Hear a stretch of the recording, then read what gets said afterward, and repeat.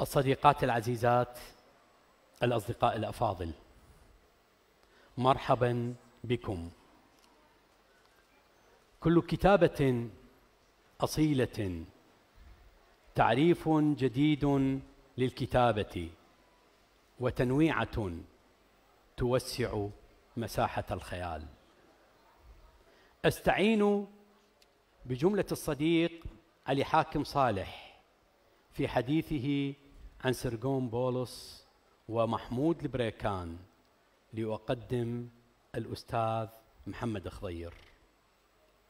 وهو الذي يمضي بقارئه مع كل كتاب جديد إلى تخوم بعيدة في الكتابة وتلك ميزته واستثناؤه في آن. فهو الثابت المتغير والمقيم المسافر والصموت المتكلم والمواطن الأبدي في مدن الخيال التي تبدأ جميعها من جهة ما في مدينته البصرة وتنتهي عندها. أسقط محمد خضير فرضيات وافكارا كثيرة وأقام بدلا عنها تجاربه في الكتابة. فالسفر في مكان واحد يتغير في كل وقت هو السفر في أبدية المكان وسحرية الزمان وما بينهما تنشأ مدن وتتوالد قصص وتورق أفكار ومرويات.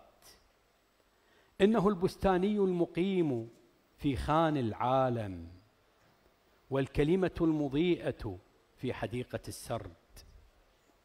معكم اليوم ندخل حدائق الوجوه حيث لكل وجه قناع ولكل قناع حكاية. طاغور وماركيز وبورخس وجبران وأبو العلاء المعري بعض من وجوه الكتاب وبعض مروياته. بستاني الطفولة رهين حديقة واسعة الأرجاء.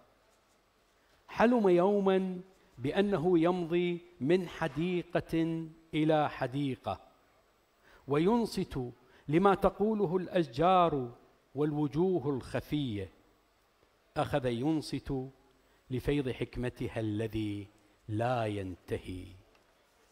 في صوت محمد خضير نستمع لما تقوله الأشجار والوجوه والحدائق.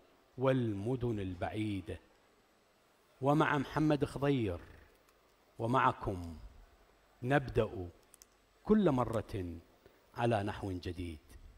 مساء الخير أستاذ محمد. مساء النور. شكرا للصديق الدكتور لؤي على هذا التقديم. شكرا لكم. يسعدنا يسعدنا جدا أن تكون اليوم حاضرا ومتحدثا وفاتحا صفحات حدائق الوجوه هذا الكتاب الذي احتفت به المدى مع معرض الكتاب الأول في البصرة. ترى أستاذ هل كانت الحديقة في هذا الكتاب مركزا للعالم مثلما كان السرد مركزا للمعرفة؟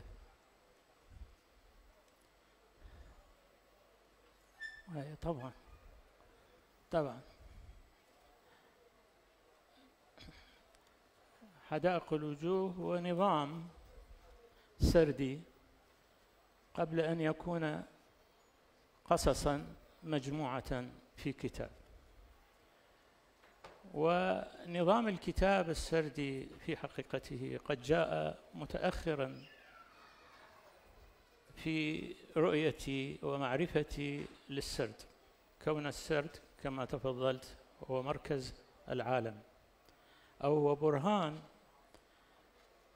إذا يعني إذا آه، يعني إذا خصصت نفسي بنوع من كتابة السرد وهو القصة القصيرة فأعتقد أن القصة القصيرة هي برهان بسيط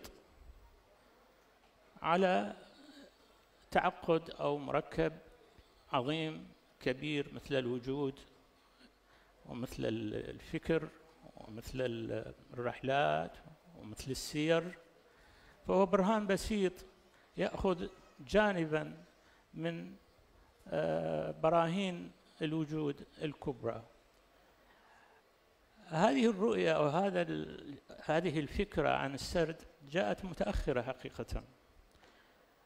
هذا الكتاب أول طبعة إلى عام 1995 عن دار المدى. وبالطبع أي كتاب لا يولد كاملا وإنما هو حصيلة تراكم بطيء لملاحظات ولأفكار ولقراءات. لذلك إذا قلنا 95 فمعناه أن بدأت بتأليف هذا الكتاب قبل وقت طويل من صدوره. وفي الحقيقة عندي فكرة, فكرة عن كيف تصدر الكتب؟ أو كيف تجمع القصص في كتاب؟ ربما هذا الرأي أبديته يوما لمحمود البريكان. قلت له أستاذ أنت لا تستطيع أن تمرحل قصائدك. قصائدك ولدت معك دفعة واحدة. وبعد إذن صارت المرحلة عبارة عن مناسبات ومصادفات بحتة. ظهرت متسلسلة بهذا الشكل. قلت له ذلك عندما كان مثلا أو عندما وضع على قصائده الأخيرة التي نشرتها الأقلام آه، سدم وتكوينات آه، تاريخ 1995 أو 98 قلت له أنت لم تولد شاعرا في هذا التاريخ.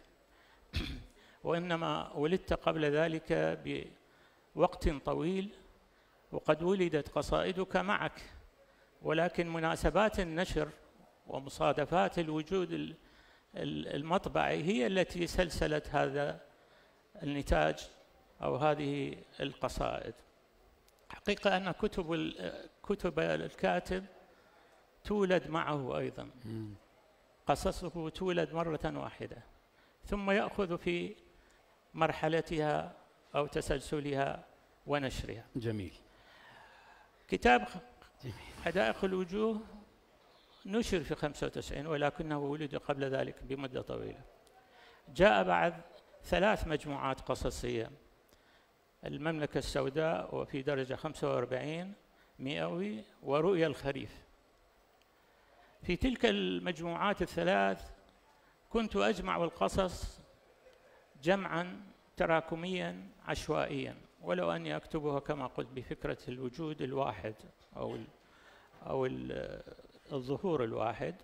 ولكن في نشرها كنت أنشرها على اعتبارها آه، أعمالا متفرقة تجتمع عشوائيا أو كميا.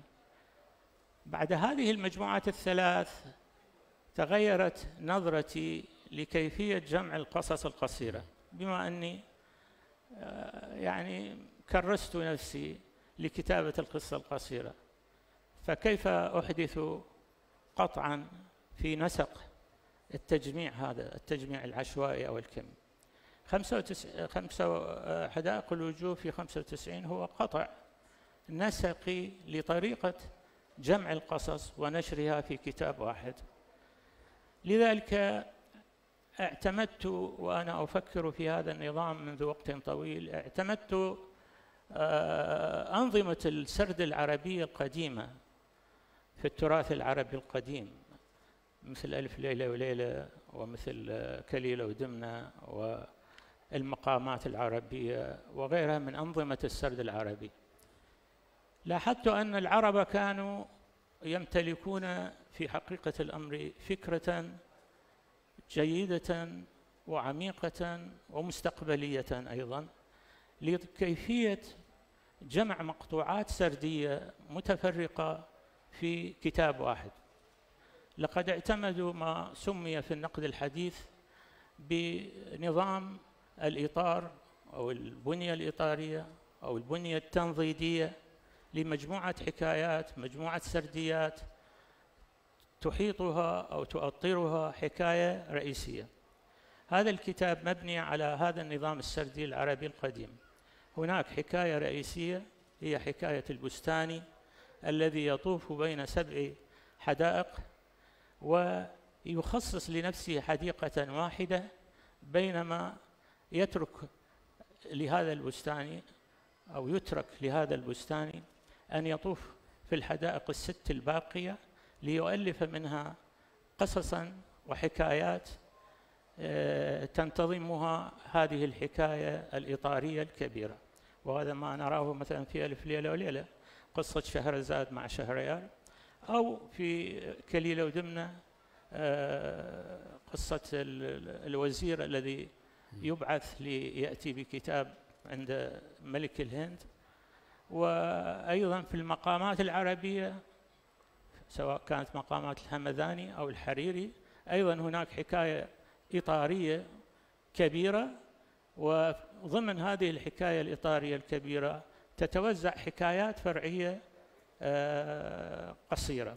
هذا النظام السردي يبرر لي أن أجمع قصصي في كتاب ومن دون هذه من هذا النظام الإطاري أو التنضيدي آه، لا يمكن لأي كاتب قصة قصيرة أو لا يبرر لأي كاتب قصة قصيرة أن يجمع قصصه في كتاب. هذا طيب. الكتاب أنا أعتبره قطع رئيسي في نسق التجميع العشوائي والكمي للقصص وأيضا إيجاد نظام عربي للسرد. يعني إحنا في حقيقة الأمر نفتقر إلى ما يسمى بالنظرية السردية العربية. هناك سرديات ترجمت أوروبية وخاصة كتاب جينيت المعروف عن خطاب الحكاية. بينما لا أعتقد أن العرب قد جرؤوا أو قدموا حتى يعني مقدمات لنظرية سردية عربية. أعتقد أن أي كتاب من كتب المتأخرة غير حدائق الوجوه مثلا بعد إذن آه، يعني صدر آه، أحلام باسورة وكتاب العقود وأيضا كتاب العشار وهو كله وكلها هذه الكتب السردية تعتمد هذا النظام الإطاري أو التنضيدي في جمع القصص. وفي الحقيقة هذا شيء مهم شيء مهم يفترض أن هناك مركزا رئيسيا للوجود وهناك فيوضات أو تدرجات للعقول تنتهي عند العقل الإنساني. طيب أستاذ محمد نعم. هذا التحول من المجموعة القصصية إلى الكتاب القصصي. نعم. هل كان تحولا داخليا من داخل بنية العمل القصصي نفسه من داخل مختبر السرد أم تحولا يعني بحكم إيعاز ثقافي من الخارج من خارج الكتاب ومن خارج المجموعة القصصية؟ في الكتب يعني على وفق تدرج وعي نعم الكاتب. نعم نعم نعم. وفي الكتب الثلاثة الأولى كان هناك وعي خارجي. هناك وعي خارجي آه، يخضع لمجموعة مؤثرات كثيرة. نعم. لقراءات لمؤثرات عربية عراقية وخاصة سردنا العراقي يعني الشهير يعني كتاب الشهيرين وغيره. فيما بعد أنا باعتقادي يجب للكاتب أن يفكر في نظام داخلي أو في تجربة داخلية لجمع قصصه أو سردياته. وبعد إذن لا يبرر أي أي لا تبرر لأي مجموعة قصصية أن تجمع قصصا قصيرة إلا عندما تمتلك نظاما داخليا نعم. أو روابط أشبه بروابط الإنترنت اللينكس. أكو نافذة ومن النافذة تتدرج روابط عديدة آه، تجمع هذه الأطر في إطار واحد مركزي. إذا تحولنا إلى التجربة الداخلية. وفي حقيقة الأمر أنا باعتقادي إذا لم تسألني أسأل نفسي. آه، أنا باعتقادي أنه أي كتاب يكتبه الكاتب هو عبارة عن سيرة. نعم. سيرة ذاتية. أي كتاب أي مؤلف في أي مكان في العالم يدرك أهمية هذه الروابط داخلية يدرك أهمية البرهان السردي على الوجود. لابد أن يكتب سيرته الذاتية. مهما كانت درجة الأهمية لهذه السيرة. قد لا نمتلك مثلا سيرة هيمنغواي أو آه، مالرو أو ماركيز أو غيرهم من كتاب العالم. لكن أعتقد أي كاتب في العالم لديه سيرة خاصة. نعم. هذا الكتاب هو شكل من أشكال السيرة الذاتية. ولكن أي سيرة؟ في حقيقة الأمر لا يستطيع الكاتب أن يكتب سيرته الذاتية بالمعايير الحديثة. لأن ليست لكاتب ما سيرة ليست له سيرة خاصة به. هناك سيرة تمر عبر سير الآخرين الذين شاركوه العيش أو شاركوه المكان. ولذلك أي سيرة ذاتية بالمعنى التقليدي للسيرة مستحيلة. لا يمكن أن يكتبها كاتب. إذا ماذا يفعل؟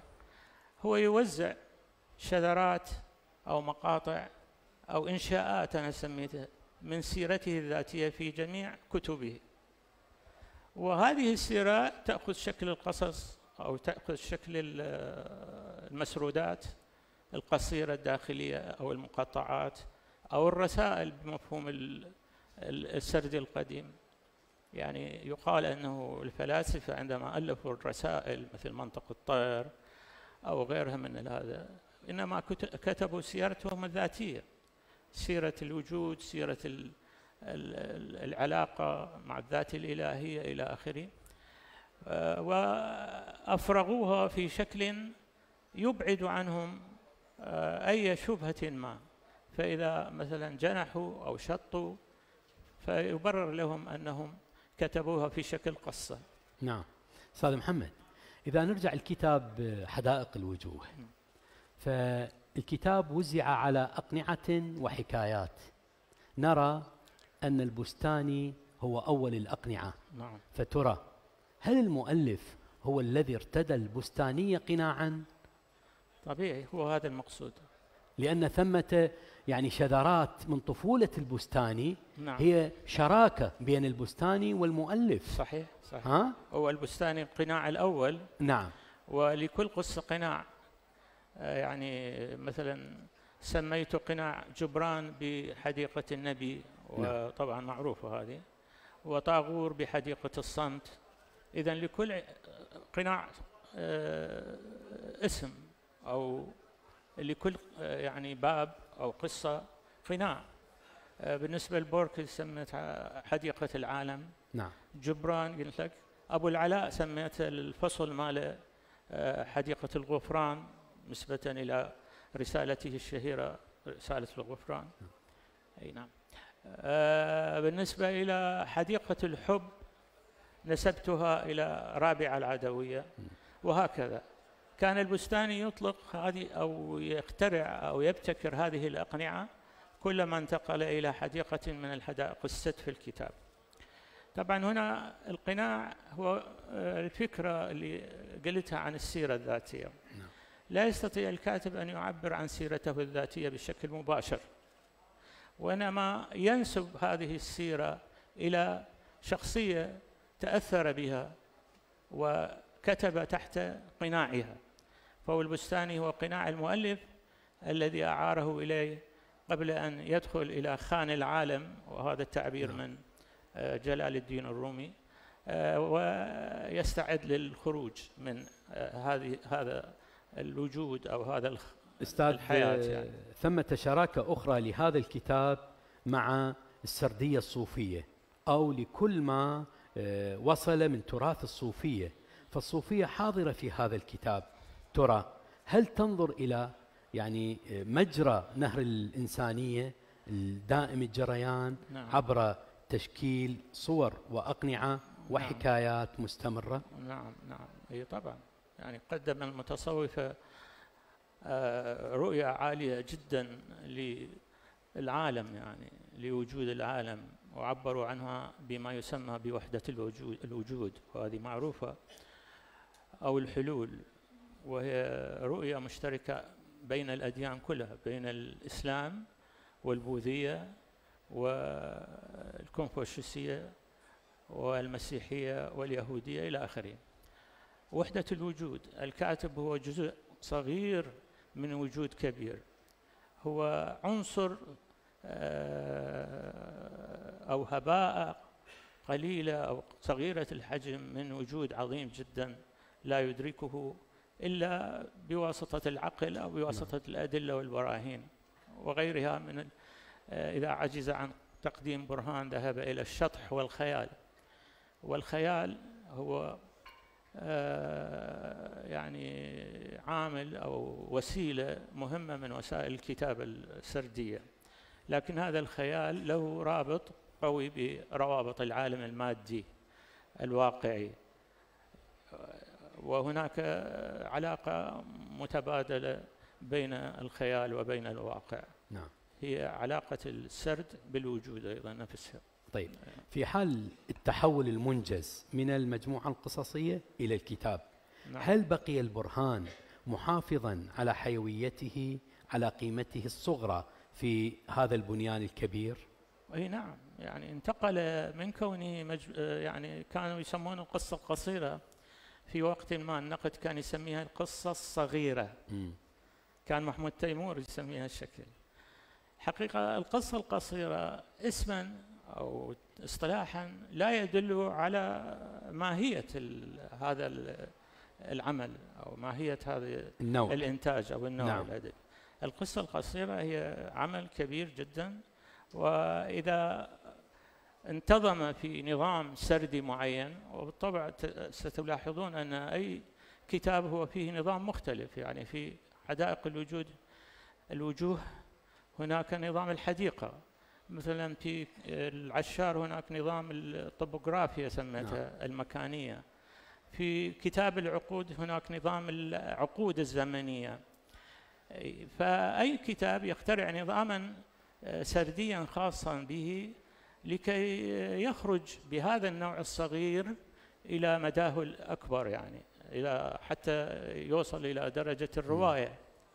ولذلك كثير ما أسأل لماذا لم تكتب الرواية. حقيقة أنا اكتفيت بهذه الأنظمة التي ترتقي بهذا العمل الصغير أو هذا العمل الحرف الحرفي أو اليدوي. أشبهه بالعمل الحرفي اليدوي إلى مستوى الروايات الكبرى. يعني يكتفي الكتاب بنظامه كما تكتفي الرواية بعالمها المتعدد الفصول والأماكن والشخصيات. نعم. هنا في القصة القصيرة يكون تكون الأهمية للنظام. بعكس الرواية تكون الأهمية للشخصيات والأحداث. وهذه حقيقة ليست في في رأيي من طبيعة التفكير العربي الشرقي الإسلامي. لا يكتفي الكاتب العربي الإسلامي يعني في الشرق الإسلامي بأن يؤلف كتابا يقتصر على الأحداث والشخصيات. إن لم يكونوا هؤلاء أو إن لم يكن هذا النتاج هو قناع أو تعبير عن نظام أكبر هو نظام الوجود أو نظام الحقيقة أو نظام الخيال أو غيرها من الأنظمة. إذا القصة القصيرة تستطيع أن تعبر عن آه، حقيقة أكبر مما تعبر عنها الرواية باعتقادي. الرواية تكتفي بالشخصيات والأماكن وتبني منها حادثة معينة أو حبكة كما تسمى. وبعدين هذه الحبكة تلتقي خيوطها وتنتهي بنهاية. القصة القصيرة لا تنتظر مثل هذا التصاعد أو مثل هذا الترتيب أو مثل هذا البطء حتى في إيجاد نهاية. القصة القصيرة هي سهم محوري نحو الهدف أو نحو النهاية. ولذلك تعرف القصة القصيرة بأنها فن الإحساس بالنهاية.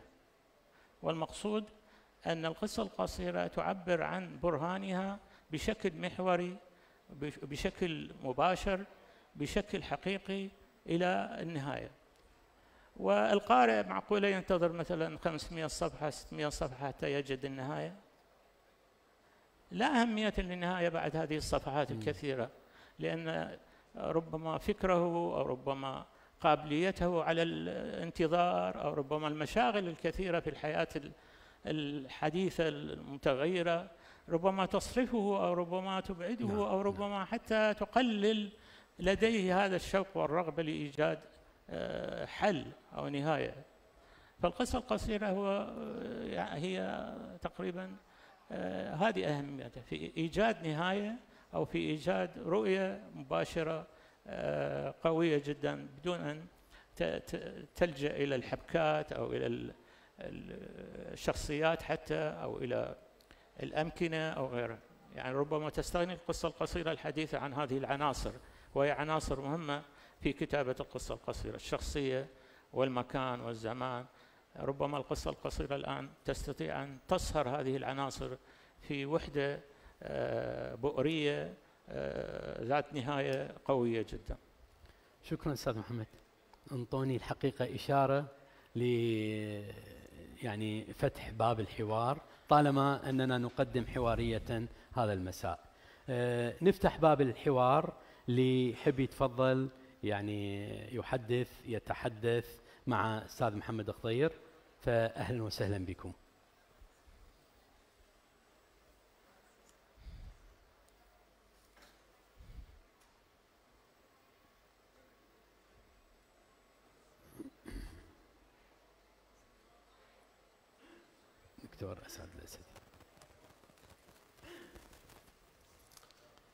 شكرا دكتور شكرا جزيلا أستاذ محمد.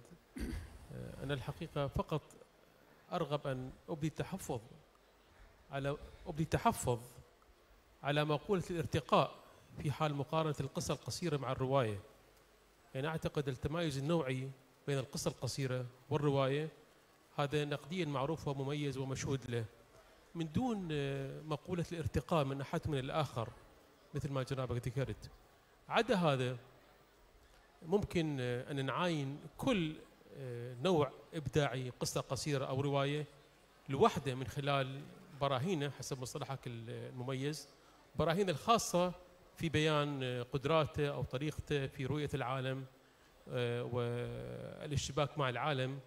وأنا أتعمد استعمال مصطلح الاشتباك مع العالم كترجمة لمقولة السيرة لأن السيرة كما أظن هي ليست بالضرورة اعتراف من قبل المؤلف وهو يكتب نص معين وإنما هي صياغة لواقعة اشتباك المؤلف مع العالم. تأتي هذه ضمن نص قصة قصيرة أو قصيدة أو رواية أو أي شكل آخر من أشكال الإبداع. شكرا جزيلا. بلا شك هو يعني أي نوع أدبي يعني يفي بالغرض أن يعبر عن رؤية معينة للكاتب. الاختلاف وين دكتور أسعد؟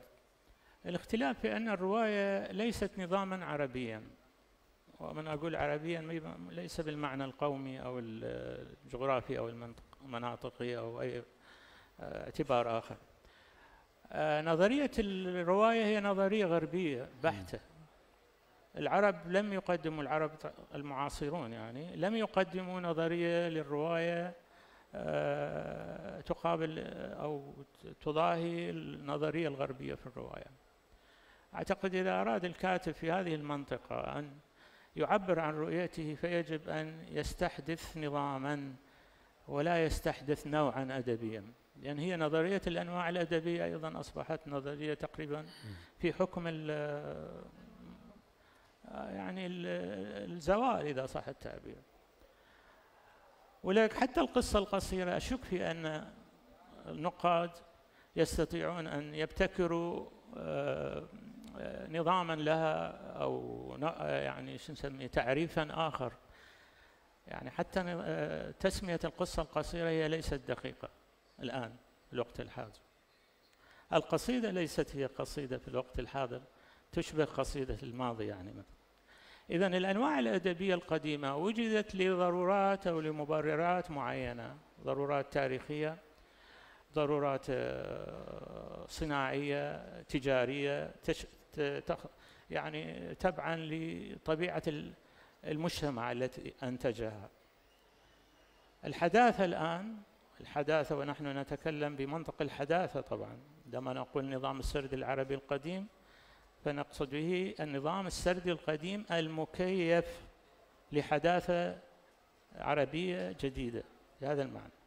وإذا كان ألان تورين مثلا قال أنه الحداثة أو ما بعد الحداثة الصناعية بعد المجتمعات الزراعية والتجارية أصبحت حداثة أيضا قديمة والآن يتحدثون عن ما يسمى بالحداثة الفائقة. فالحداثة الفائقة أيضا تحتاج أو تطلب تتطلب أن توجد أنواع أو تسميات أو تعريفات أو أنظمة جديدة للأنواع الأدبية. أي حديث عن الأنواع الأدبية باعتبارها رواية قصة شعر مسرح حتى حتى المسرح تغير كثيرا. الرسم تغير كثيرا.